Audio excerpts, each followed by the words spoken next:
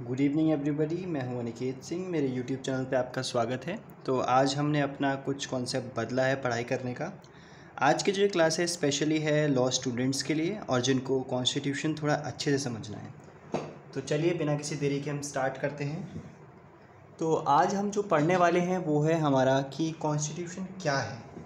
इसका मतलब क्या है? ये तो हमें पता है कि कॉन्स्टिट्यूशन मीन्स टू कॉन्स्टिट्यूट कि आप कोई चीज़ बना रहे हैं लेकिन ये तो बहुत ही लिटरल मीनिंग हो गया। अब हमें अगर कॉन्स्टिट्यूशनल लॉ पढ़ना है, जो कि मैं आपको आगे बताऊँगा what is the difference between constitution and constitutional law तो अब अगर हमें कॉन्स्टिट्यूशनल लॉ पढ़ना है तो उसके हिसाब से कॉन्स्टिट्यूशन क्या होता है? तो कॉन्स्टिट्यूशन अगर हम एक लॉ स्टूडेंट के हिसाब से पढ़ते हैं तो हम क्या बोलेंगे?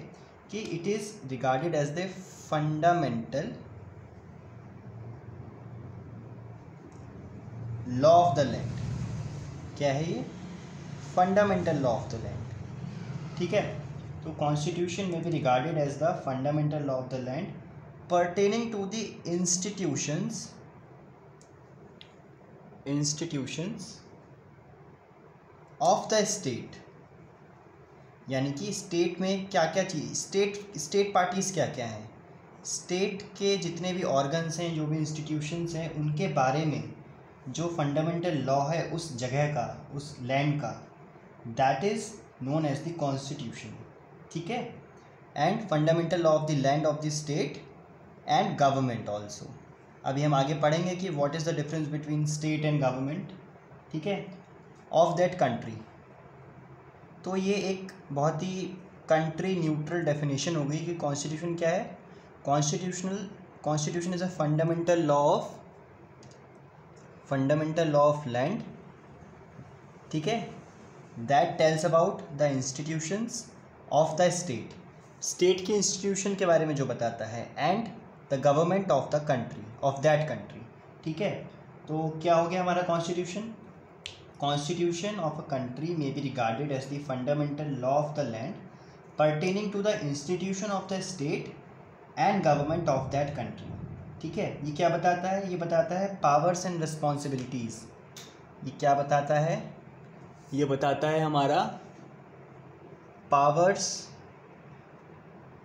रेस्पॉन्सिबिलिटीज ठीक है?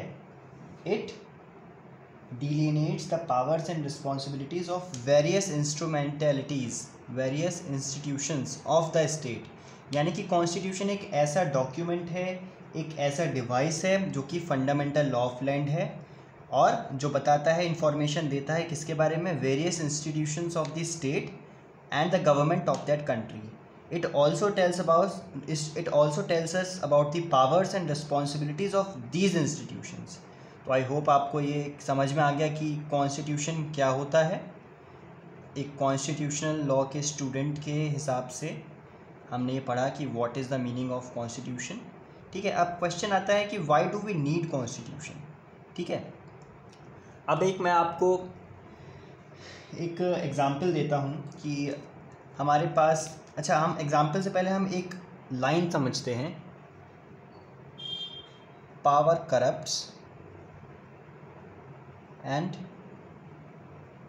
absolute power corrupts absolutely